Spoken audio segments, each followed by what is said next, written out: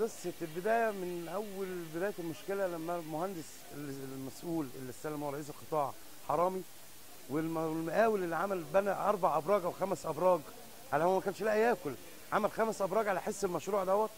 كان الاتفاق إن ال- ال- ال- الخريطة المعمولة إن المواسير تحت الأرض ب 2 متر ونص حط المواسير فوق الأرض ب 70 سم وده مخالف والمهندس رئيس القطاع استلم.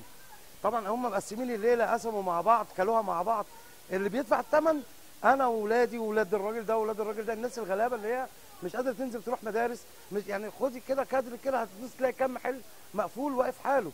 عشان مهندس حرامي ما عندوش ضمير. جبنا المهندس إبراهيم محلب أيام ما كان وزير إسكان وجه مشكورا الراجل في 15 يوم حل مشكلة بس للأسف اللي معاه ضللوه حلوا شارع وسووا بقية البلد. في المنطقة هنا بقالي 25 سنة.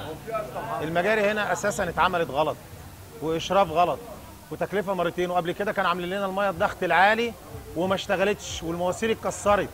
وتشوفيها حضرتك كل حاجة هنا بنعملها مجهود ذاتي. ما ينفعش يعني اللي هيعمل حاجة يعملها زي الناس. ما المجاري اتعملت كده بطريقة عشوائية واتفجرت علينا تاني إحنا هو يعني إحنا لو كنا عايشين على الترنشات زمان الأول كنا بنبقى عارفين أولها وآخرها. إنما دلوقتي ده كده يرضي ربنا ده يعني يعني يعني حرام يعني حد كده من المسؤولين يعني يكون عنده ضمير اللي بيشتغل في حاجة يعملها بضمير. مش هيعملها بضمير ما يعملهاش. عدة مشاكل إحنا هنا مش مشكلة واحدة إحنا هنا عدة مشاكل. عدة مشاكل بنشرب مية مجاري آه، صرف صحي كهرباء مية بتيجي على الكهرباء. آه، كل حاجة هنا مفيش حاجة. حتى الشوارع اللي إحنا بنمشي شارع الشارع الشارع اللي أنت حضرتك فيه ده شارع محمد مبروك ده شارع رئيسي. بتمشي منه أتوبيسات كبيرة. النهارده مثلا يعني بيحصل اتوبيسين ماشيين قصاد بعض. طب إزاي اتوبيسين في شارع لا مؤاخذة حوالي 8 متر؟ المواسير اللي راكبة هنا هنا بيعاملونا في في بشير كقرية وإحنا هنا أكتر من بلاد دكرو أكتر من امبابة. النهارده بشير بقت بقت مدينة مش قرية. هم بيعاملونا كقرية. كقرية يعني قرية صغيرة. فالنهاردة عايزين عايزين مسؤول ينزل يكون يحل المشاكل بتاعت في كذا مشكلة مش مشكلة واحدة. أنا بقالي ساكن هنا دلوقتي أكتر من 33 سنة بالعذاب والمرار دوت. كل الحاجات اللي أنت شايفاها دي حاجات عشوائية.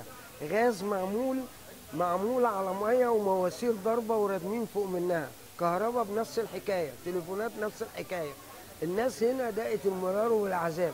ال- بدل ما بيجوا يصلحوا بيجيبوا اللودر عشان يسوي الأرض ويردم بيردم على مواسير مكسرة. فالشارع الشوارع هنا كلها من أولها لآخرها. كلها كده على بعضها كده مواسير ضاربه من من تحت. زائد المجاري البايظة. بنروح للمسؤولين محدش بيسأل فينا ولا حد بيعبرنا. المجاري كلهم على كده هو. وكل شهر بندفع فلوس بتوع المجاري عشان يجي يسلكوا لنا ما حدش بيرد علينا. ما حدش بيرد علينا.